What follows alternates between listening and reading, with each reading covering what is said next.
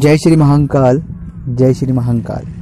दोस्तों, आप सभी का, आपके अपने चैनल में आपका बहुत स्वागत है और आपका बहुत आभार है। आप जो प्यार, सपोर्ट प्रदान कर रहे हैं, आपका बहुत बहुत शुक्रिया। धन्यवाद आपका। बाबा महाकाल आपको हमेशा खुश रखे। आज हम इस वीडियो में बात करेंगे कि आपके परिवार में आपके शत्रु कौन हैं। ये बहुत ज़्यादा यूनिक और बहुत ज़्यादा महत्वपूर्ण टॉपिक है आपके लिए।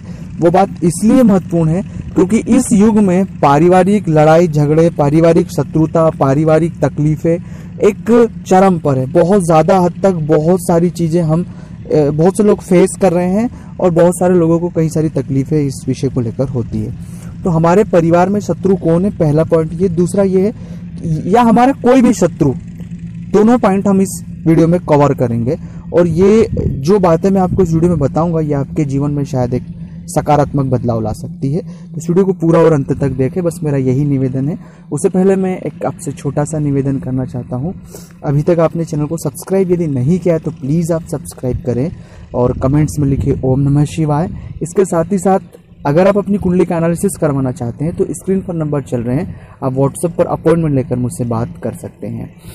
अब आते हैं मुद्दे की बात पर। सबसे पहली बात कि जब भी पारिवारिक शत्रुता की बात होती है तो वो डायरेक्टली नहीं होती है, वो इनडायरेक्टली होती है। इनडायरेक्टली का कहने का अर्थ यही है, किसी अन्य शख्स द्वारा ये बातें बताई जाना कि इन्होंने आपके बारे में ऐसा कहा, ये कहा मतलब सीधे सीधे बात ना होकर एक बिचौले के मध्य से चीज़ों का आप तक आना, चीज़ों को छन कर आना। और जब छन कर आना मतलब चीज़ों का किसी और व्यक्ति के द्वारा, किसी और माध्यम से आपको बताना। और यही चीज़ जो है, पारिवारिक शत्रुता का पहला सबसे बड़ा कारण है, क्योंकि लोग अच्छे परिवारों को बिगाड़ने के लिए कई सारी चीज़ें होती है और वो बहुत सारे अनुभव आपके लोगों के हो सकते हैं।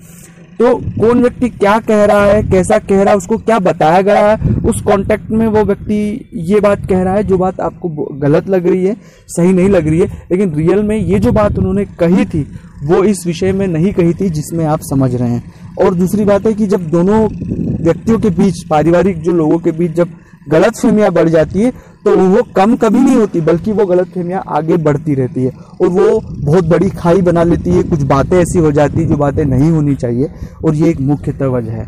तो इसमें पहली और मुख्य बात कह देना चाहता हूँ कि जब भी कभी भी इस तरह की चीज़ें हो, पारिवारिक शत्रुता शुरू वो यहीं से होती है तो आप कभी भी बैठ कर सुलह करके और बाहर आ जाए। क्योंकि इस दुनिया में दोस्तों सब दोस्त आपके साथ देंगे, सब देंगे, लेकिन परिवार के लोग चाहे कितने भी बुरे क्यों ना हो, कैसे क्यों भी क्यों ना हो, वो ज़रूर अपने परिवार के साथी का सपोर्ट करते हैं। वो जो भी अच्छा बुरा जो भी हो, वो एक अलग बात है, लेकिन वो सपोर्ट करते हैं नाइन्टी परसेंट, नब्बे परसेंट यही होता है। दस परसेंट मैं छोड़ सकता हूँ, अपवाद स्वरूप, उन पर मैं बात नहीं कहूँगा।